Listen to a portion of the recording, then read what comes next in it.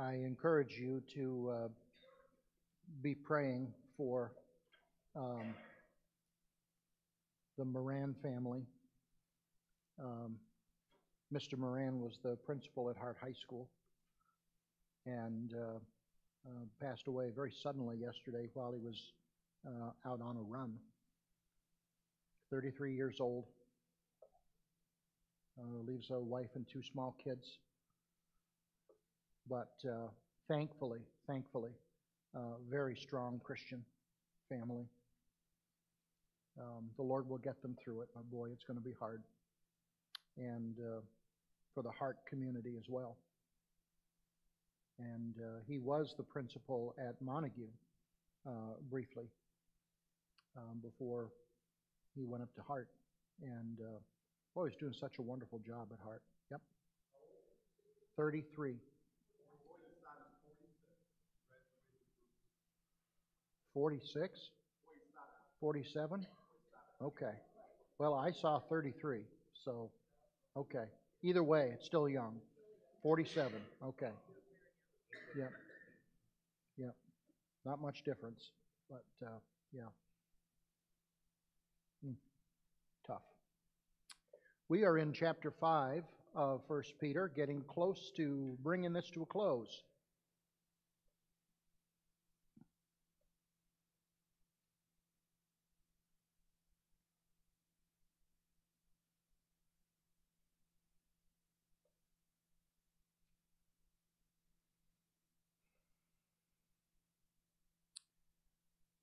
Uh, this is um, this is a section. These four verses are a section that kind of um, stands out by itself a little bit with regards to the whole flow of First Peter.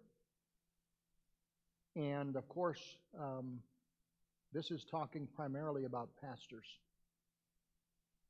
and uh, and uh, leaders, pastors and elders.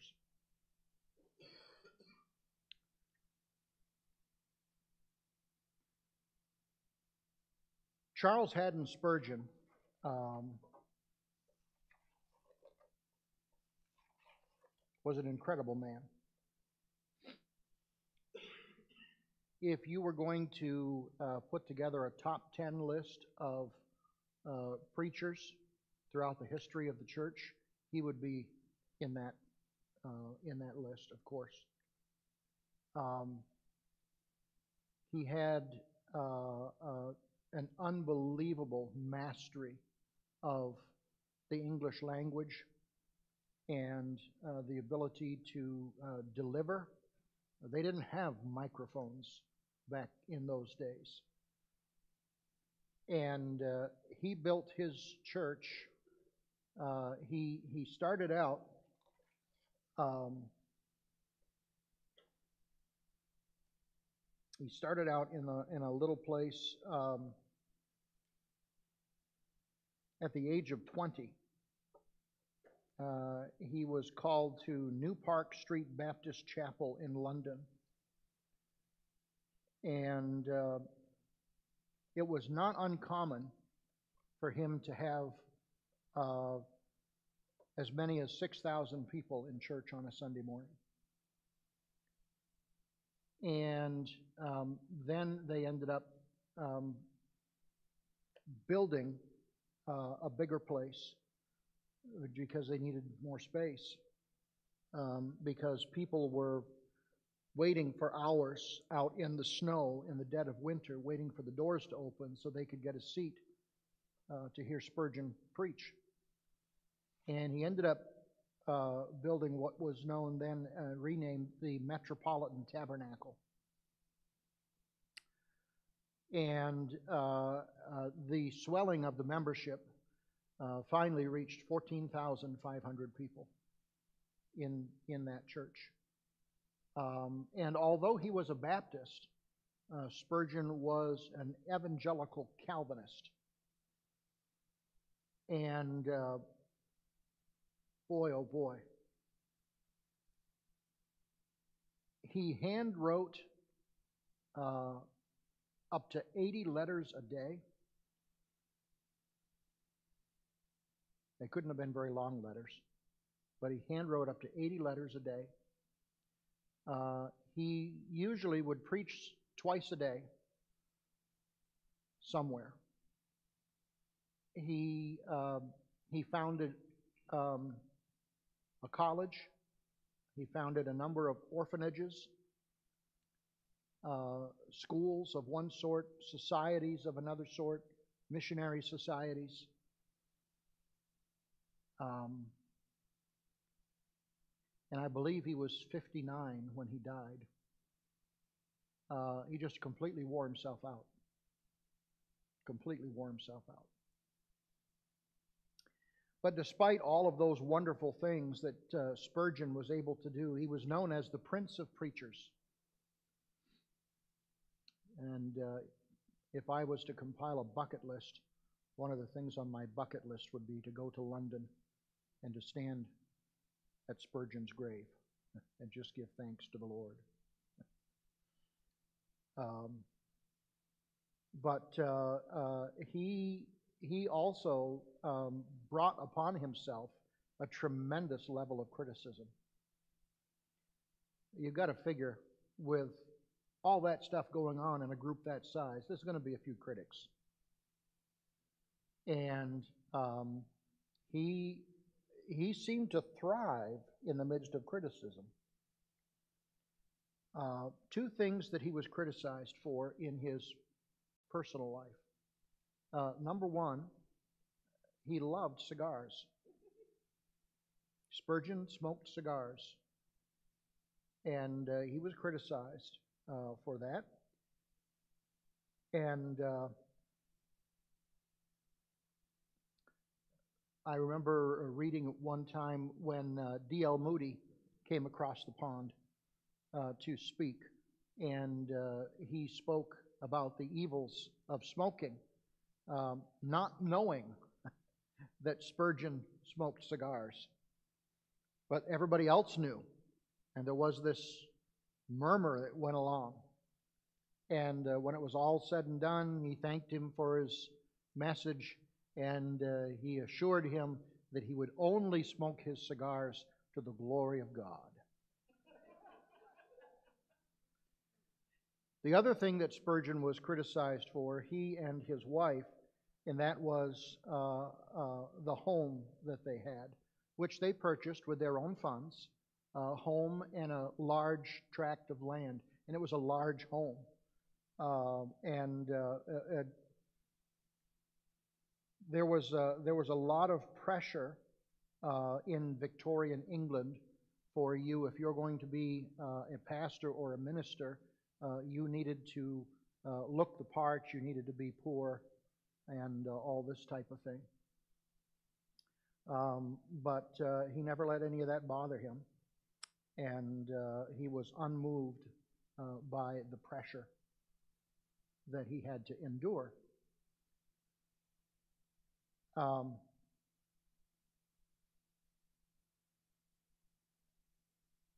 he wrote a book um, that uh, uh, is, he wrote so many things, so many things. My goodness. All of his sermons have been published, and uh, just recently they came out with a whole brand new set of sermons that they have found uh, by Spurgeon that are in the process of being um, published. Uh, but uh, he wrote a book called Lectures to My Students, and uh, he he he spoke primarily to um, young men who were preparing for ministry. And uh, in this, he said, Every workman knows the necessity of keeping his tools in a good state of repair.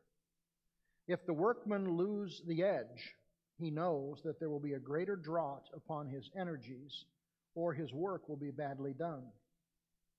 It will be in vain for me to stock my library or organize societies or project schemes if I neglect the culture of myself.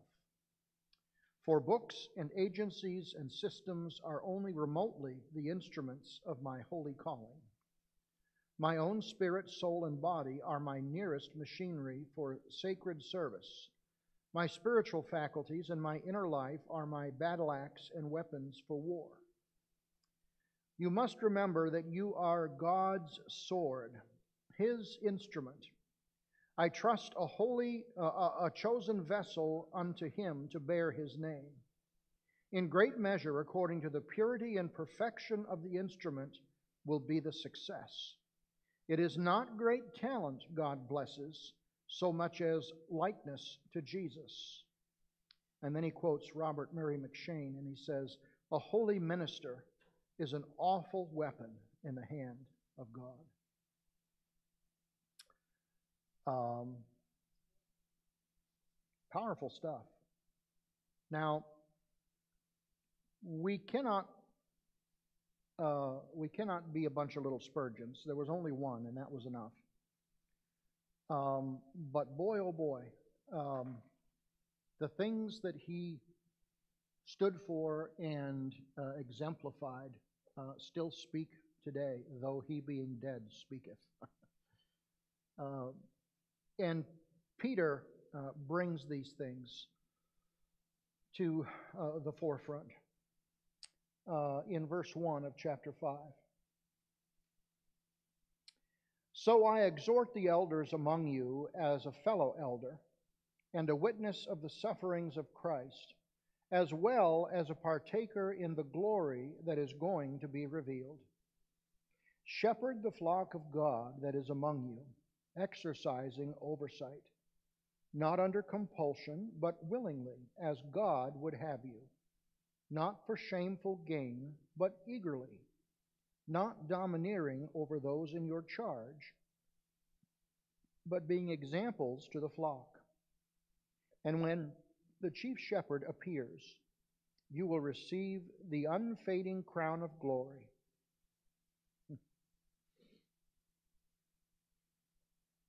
There are some practical things that we need to remember um, as leaders in a church, and in particular those who are elders and pastors.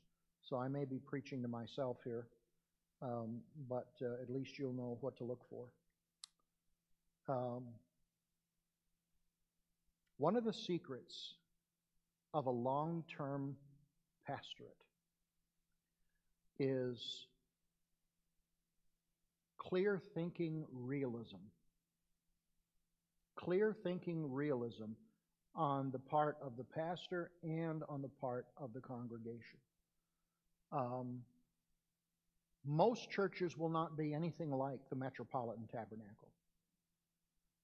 Uh, and, and, and none of us that are in ministry today will ever be uh, a Spurgeon. Um, I would soon say that if Spurgeon were to apply for a pastoral position today, nobody would hire him. Nobody would hire him. Um, because he was not afraid to call a spade a spade.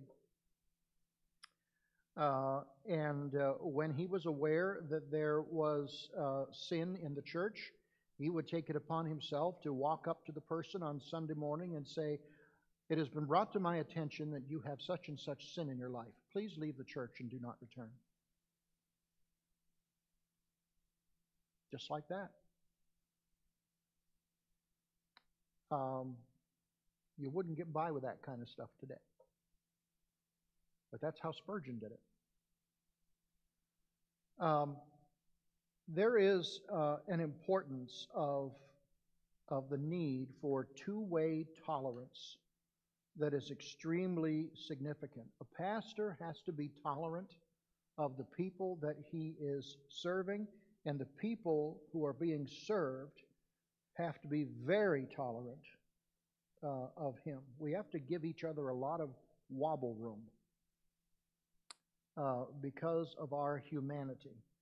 Um, Religion resists that type of thing. Religion is much more strict and straight laced. Um, not suggesting that anyone should go out and live a lie or be unaccountable or anything like that, but rather the oil that allows there to be peace and harmony flowing in the mechanism of a local church between congregation and pastor is the oil of grace. Giving room for others to be who they are because the truth is, we all have bents, we all have quirks, we all have little idiosyncrasies in things about us that one way or another tick somebody else off. We do. Uh, I've told you the story before uh, about the fella early on that came to see me, made an appointment to come and see me, and just basically sat down and, and uh, he said, I just wanted you to know that I don't like you. I just, I don't like you. I've never liked you. Uh, I don't like the way you talk. I don't like the way you present. I just don't like anything about you. And I feel real bad about that. But I feel like I need to tell you and be honest with you and just let you know that I don't like you. Now, if that's not humility and how I obtained it, I don't know what is. but he was honest. So, yeah. Um, different personality types. And there are all kinds of personality types, aren't there? Uh, Ryan, if you ever call the psychiatric hotline, if you are obsessive compulsive, please press 1 repeatedly. If you are codependent, please ask someone else to press 2. If you have multiple personalities, please press 3, 4, 5, and 6. If you are paranoid delusional, we know who you are and what you want. Just stay on the line so we can trace the call. If you are schizophrenic, listen carefully, and a little voice will tell you which number to press.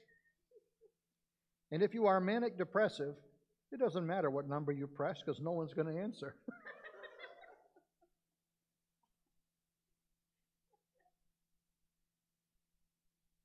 a good sense of humor is essential if you're going to survive in ministry. You have to have a good sense of humor. Um, early on in ministry, that was so hard for me. It's still difficult but I'm better at it, I think, than what I used to be. To have a sense of humor about things. Don't take things so seriously all the time. But there are a number of principles with respect to uh, ministry and uh, serving as an overseer in a church. And the first principle is that the pride of position must be absent. The pride of position must be absent. I find it very interesting that Peter is writing here in verse 1.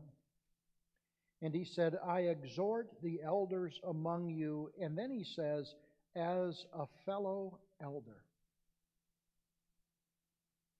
He doesn't come out and say, I exhort and I command because I am the Apostle Peter. I hold the keys to the church. I, you know, and all this kind of stuff. I am the leader. And you will obey me. No, it wasn't that at all. It was not that at all. Um, whatever honor had been his, whatever privileges had been his, uh, he never hints at those things as far as position of authority. Um, we don't find that in his remarks. What we find is someone who says, I'm a fellow elder just like you, and I'm a witness of the sufferings of Christ, and I'm going to be a partaker in the glory that's going to be revealed. And those are humbling words. Humbling words. Uh, nothing about the importance of the letter or his recipients uh, uh, he simply identifies with them.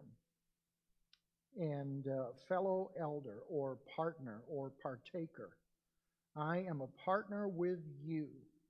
He sees himself on the same level as all the other elders.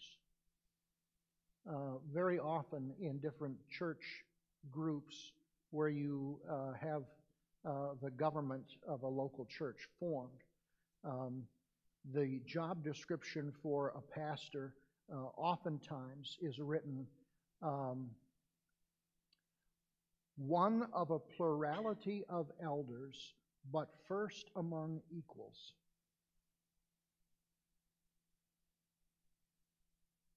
And I get that because somebody has to be in charge. But the emphasis there is not on the first. the emphasis is on the equals. Because the first only has to do with function, it doesn't have to do with position.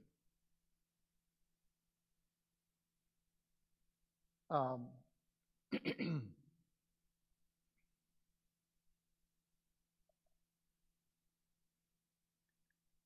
church work is a very easy place to become proud.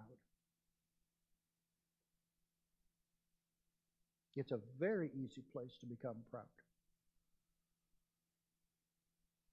Pastors stand before groups of people on a weekly basis, the number of which CEOs of Fortune 500 companies don't stand in front of on a regular basis. And they speak for a lengthy period of time without being interrupted, without being challenged, without being second guessed. Um, and it's very easy to coast along without being accountable. Um, very rarely are you questioned. And uh, if you are, your answers are very seldom challenged.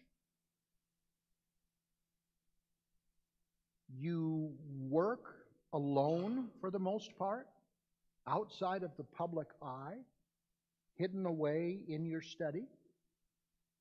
Um, and all of that is fine, but it's a minefield of peril and danger because before you know it, if you're not careful, you can fall into the trap of believing that only what we say and only what we discover is important. And it is especially dangerous when your ministry grows and your name grows and your fame grows. And if you don't believe me, just look around at all of the big, well known ministries throughout even the last decade of where uh, different ones have fallen uh, in ministry because of some kind of sin issue.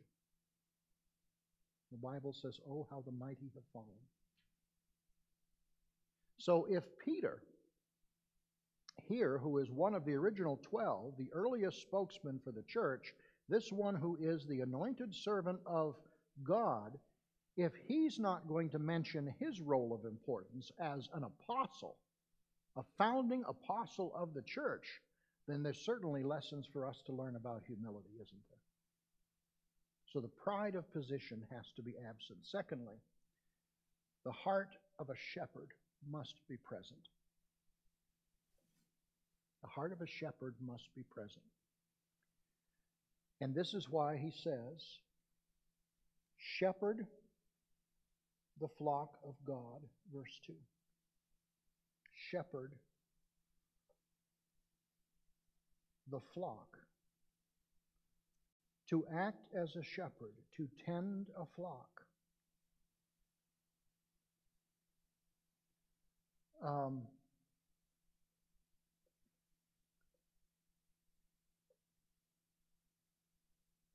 Notice whose flock it is.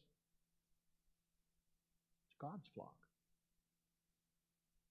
It's not your flock. It's not my flock. Throughout my ministry, I have tried to intentionally be very, very careful never to refer to any church as my people. My people, my congregation, my church. It's God's people. It's His church. You know, um, they're they're not controlled by an under shepherd. They're controlled by God. And ultimately, they have to answer to Him, and they live their lives before Him, and they obey Him. Um, the elder is the shepherd of the flock in which God has placed him. And as such, he is responsible to bear the responsibility for that flock, to seek them when they stray, to defend them from harm, to comfort them in pain, and to feed them truth. That's what a shepherd is supposed to do.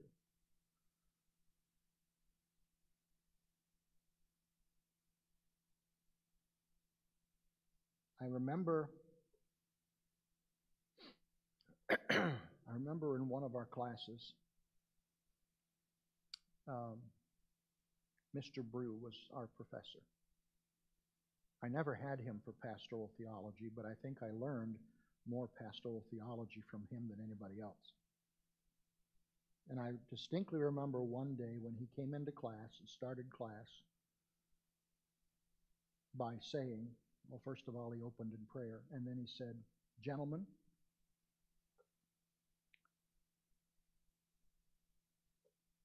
if you are not willing to have the heart of a shepherd, please do the Lord Jesus a favor and don't go into the ministry. Because I'm sick and tired of getting calls from churches of where we've sent young men out and they never should have been there.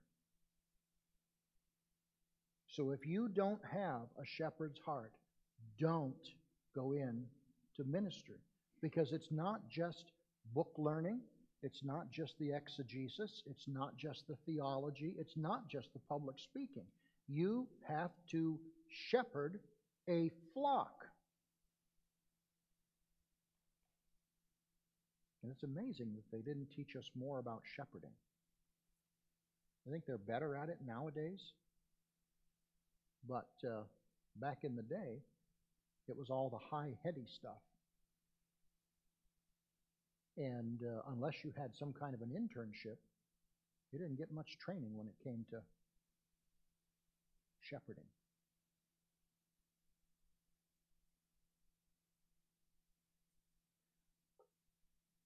So being very, very careful um, to know that, that that you're called to that. There was a minister of music who had a sign in his office.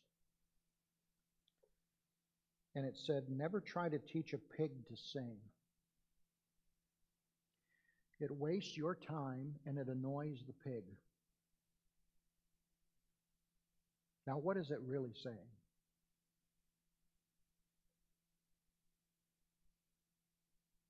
Hmm? What is it really saying, Ken?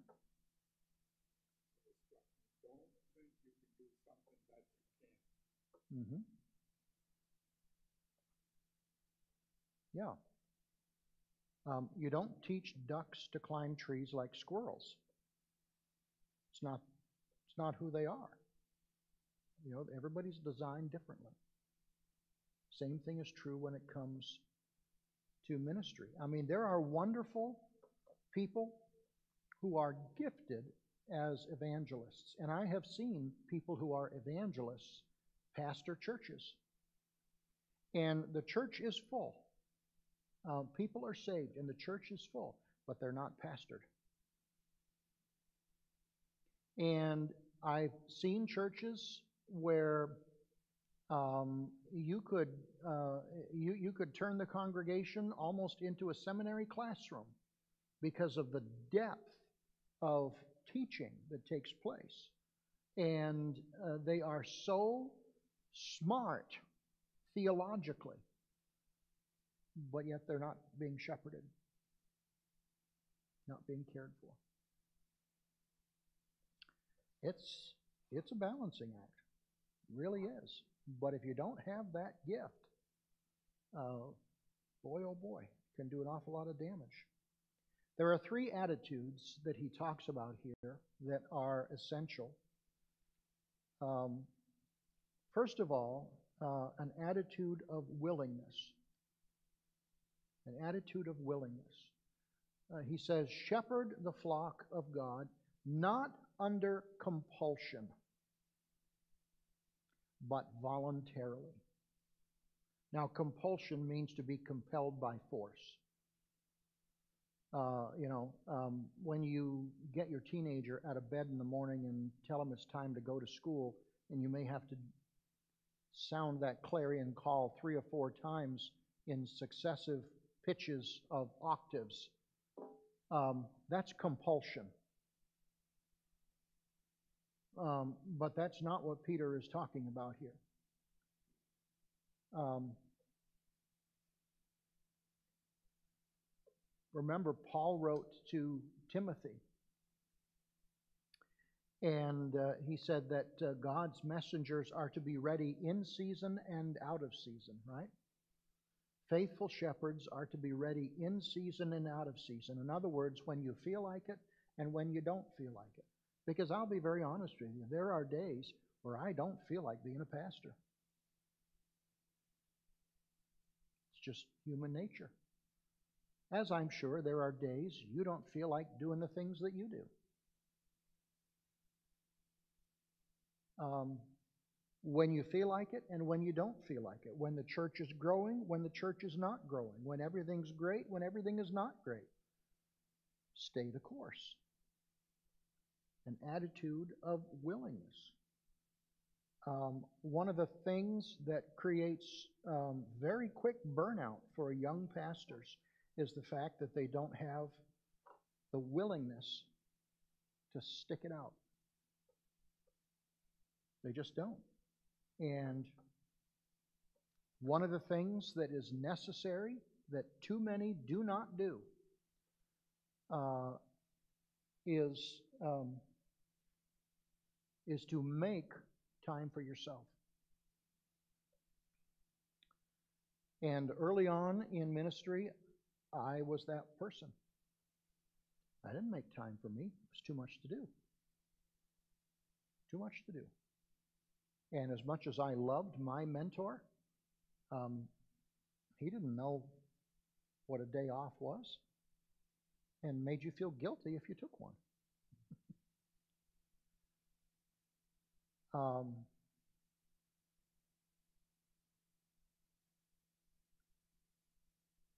so that's the first attitude. The second attitude is an attitude of eagerness. Uh, look at how Peter expresses it. Uh, not under compulsion, but willingly, as God would have you. Uh, second one right here. Not for shameful gain but eagerly. Shameful gain, sordid gain. The old King Jim says, filthy lucre. Filthy lucre.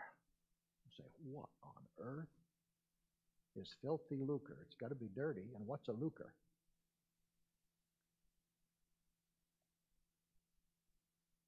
Case in point.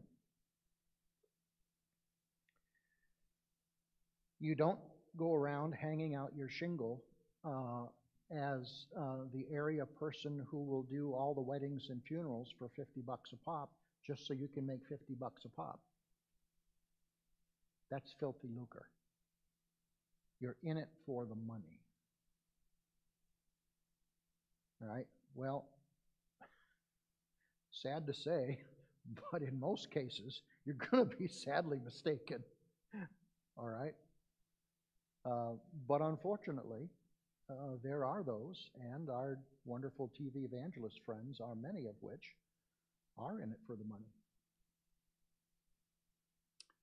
Um, you're, you're, you're not in it for the perks. Um, be eager to serve. Don't be greedy to serve.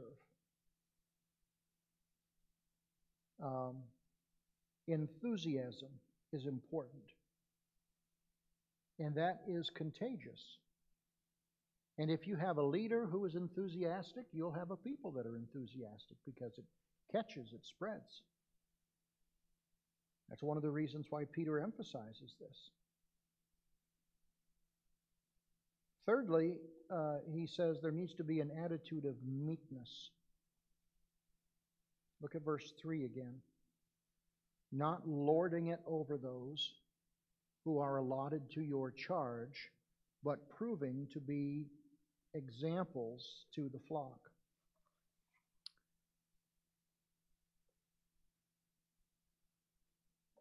Peterson says it this way not bossily telling them what to do, but tenderly showing them the way.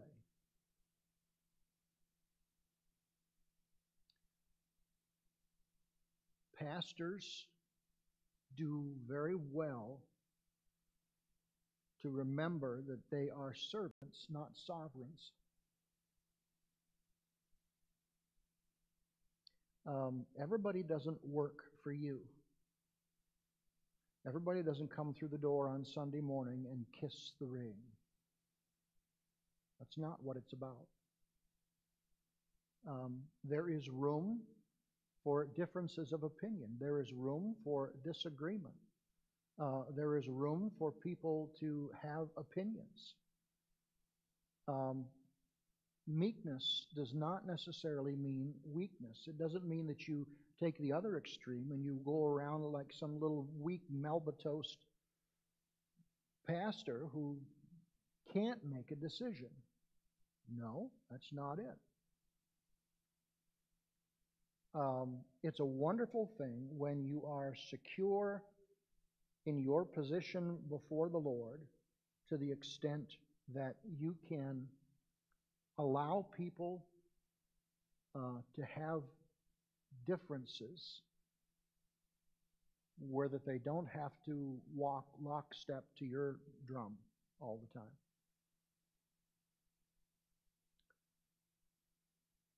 Um, one of the dangers of being a pastor is that it brings an enormous amount of authority. Enormous. Not even a board of elders or deacons has the authority that a pastor has standing in a pulpit on Sunday morning. Because it is a place where he can wield incredible authority, and if he chooses to do so, he can pull rank. All the more reason not to abuse it. Pastors are not a stand in for Jesus. Some think that they are, but we're not. The very best thing for a pastor to be able to do is to try to live a life of authenticity and accountability and humility. And those are the things that the Lord will use to bind your heart to the hearts of your people.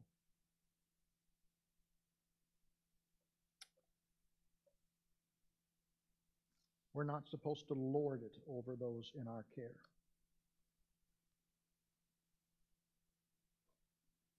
when you when you come to a church where the pastor has to approve everything, where the pastor has to be in charge of everything, where the pastor has to have the final say of everything, you have a very insecure pastor. extremely insecure. Um, it's, it's, it's, it's sad. Because if you look at Scripture, Jesus didn't even demand that from his people.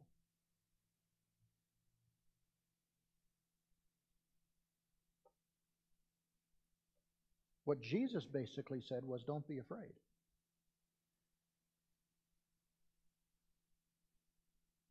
Very rarely did Jesus raise his voice about anything or rebuke his followers because Jesus, of all people, knew that sheep thrive best when they are led, not driven. And when they are released and not controlled and when they know that they are loved and not shamed. And then in verse 4, he talks about this eternal reward.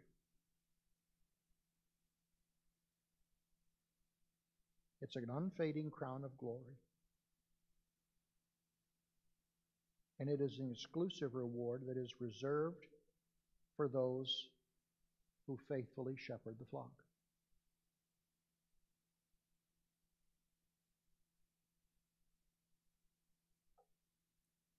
Something that we anticipate when we meet the Lord.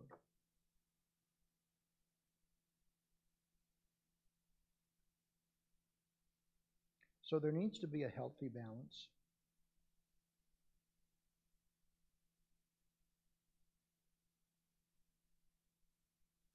We need to make careful that we do not underestimate the importance of nor exaggerate the importance of your role as the shepherd. Got to be a balance.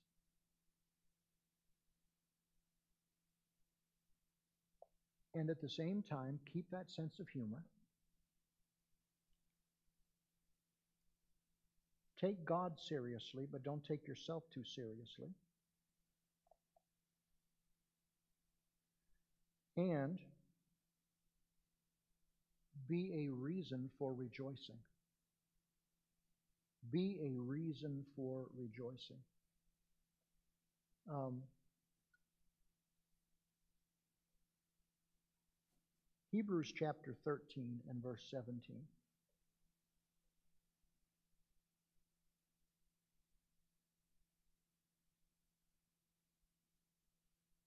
When I'm talking about being a reason for rejoicing, um, that too works both ways. Um, it's important for the people uh, to be a reason for the rejoicing of the shepherd. Hebrews 13 and verse 17 uh, Obey your leaders and submit to them, for they keep, excuse me, for they keep watch over your souls as those who will give an account. Let them do this with joy and not with grief, for this would be unprofitable uh, for you.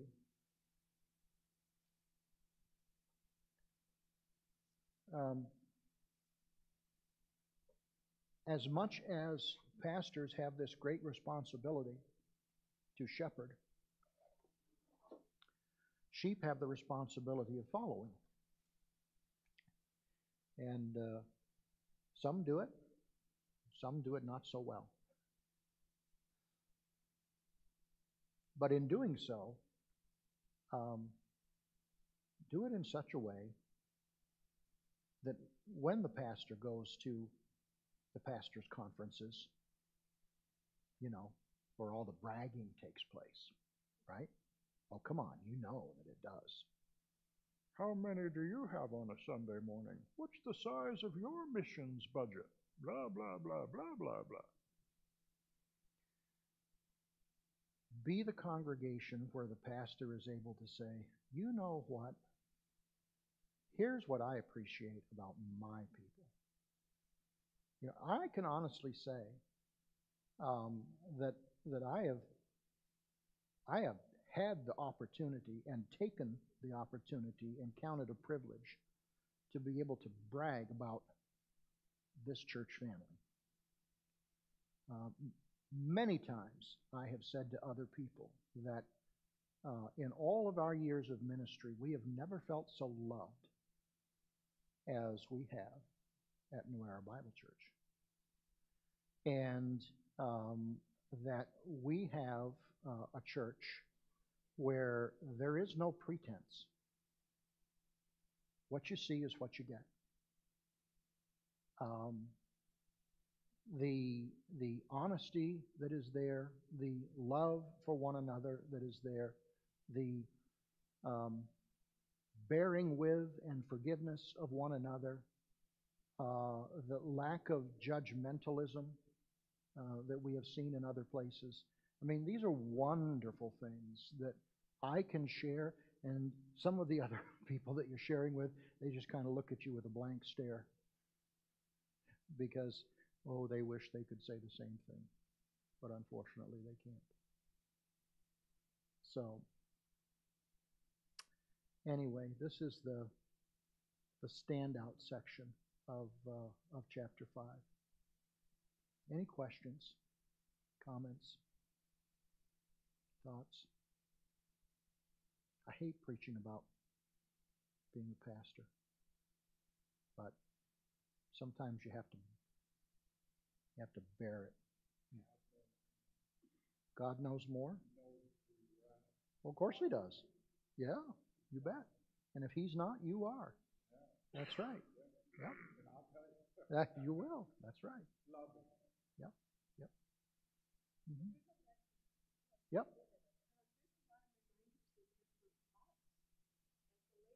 hmm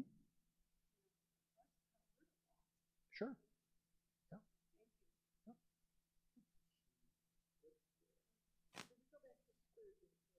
hmm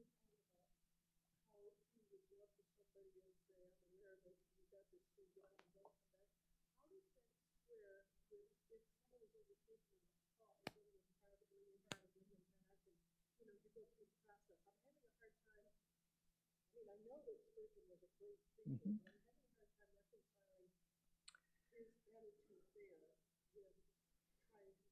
I think by the time things got to Spurgeon, all of that had been worked through. Spurgeon, I mean, Spurgeon had a network of lay leaders, a network of, of lay pastors.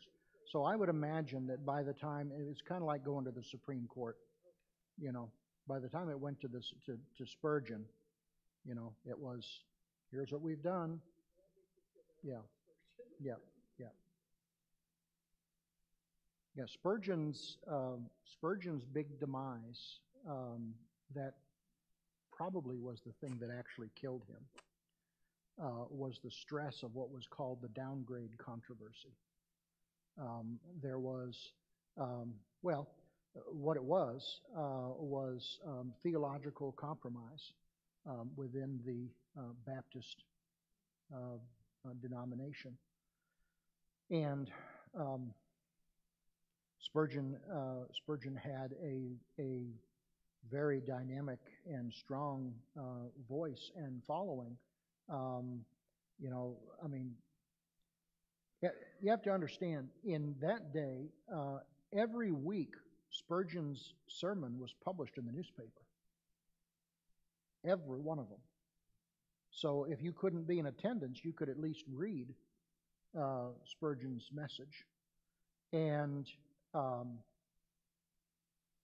so he had no problem, you know, uh, putting op-eds in the paper and all this kind of stuff. Well, it ended up being uh, the type of thing where people finally uh, ganged up on him and uh, um, set him up and accused him of things that were absolutely false. And the stress uh, of all that uh, sent him physically into a tailspin. He ended up having to go to the south of France for his health, um, and uh, and it was it was there um, six months later that he died. And uh, most folks attribute it to all of the the uh, the stress and the fatigue of that. Yeah. Yep. That's exactly what it was. Mm-hmm. Yep. So. Anything else? Well, let's pray. Father, thank you. Thank you for your word. Thank you for good, um, gentle reminders uh, from humble servants as far as the importance of um, shepherding and doing so with uh, humility and integrity. We realize that we are not worthy, uh, but yet uh, your callings and your choosings are of your design. And so help us to remain faithful and uh, give you all that praise and glory in the process. In Jesus' name.